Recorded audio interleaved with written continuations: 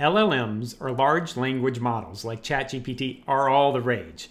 But what if we could expand our definition of language? Let's talk today about foundation models and how they can be used beyond natural language. As we've discussed, LLMs work by decomposing text and predicting what should happen next. It works great for spoken and written languages around the world, as we've seen, but it holds the potential for so much more. The first area that might come to mind is coding.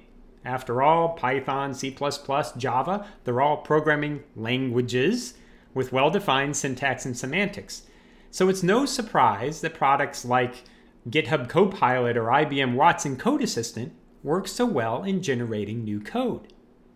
But stretch that definition of language just a little bit more.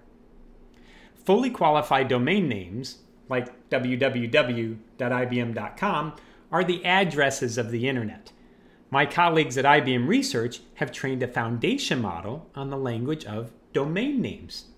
It can be used to automatically identify devices on the network and even quarantine compromised devices. And that's just the start. Geospatial foundation models, trained on satellite data, can be used to predict the impact of climate change or aid in disaster responsiveness.